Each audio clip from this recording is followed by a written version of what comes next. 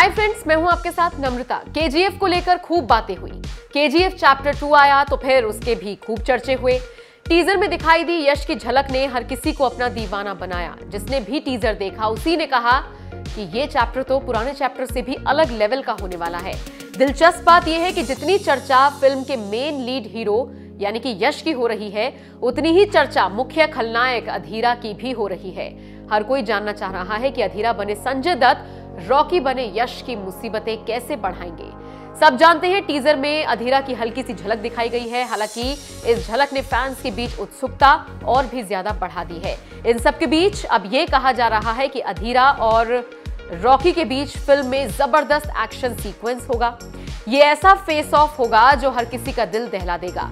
अब ये भी किसी से छिपा नहीं है कि जब जब संजय दत्त पर्दे पर खलनायक बनकर आए हैं तब तब उन्होंने समा बाँध दिया है। अग्निपथ हो या पानीपत, या फिर कुछ साल पहले आई उनकी फ़िल्में।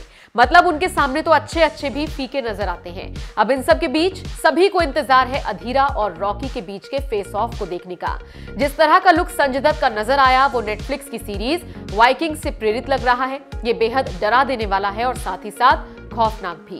फ़िल्म को देखने के बाद अगर आप सच में अधीरा से नफरत करने लगे तो समझ जाइएगा, संजय दत्त ने अपने किरदार के साथ इंसाफ कर दिया है। आपकी जानकारी के लिए बता दें, अधीरा सूर्यवर्धन का भाई है, जिसका सपना है कोलार गोल्ड माइन पर राज करने का।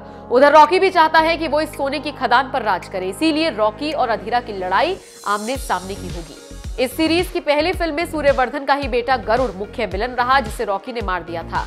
अब चैप्टर टू में रॉकी और अधीरा के बीच जंग देखने को मिलेगी। हालाँकि अभी तक इसके मेकर्स ने फ़िल्म के रिलीज़ होने की तारीख का ऐलान नहीं किया है, लेकिन कहा जा रहा है कि फ़िल्म इसी साल, जून, जुलाई तक रिलीज़ हो सकती है। प्रशांत नील के डायरेक्शन में बनी यह फ़िल्म पहली कन्नड़ा फ़िल्म है, जो लगभग सौ करोड़ के बजट में बनी है।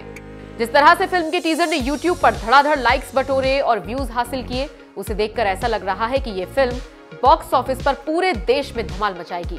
आप बताइए, आपको क्या लगता है, रॉकी और अधीरा में जब फेस ऑफ़ होगा तो कौन जीतेगा?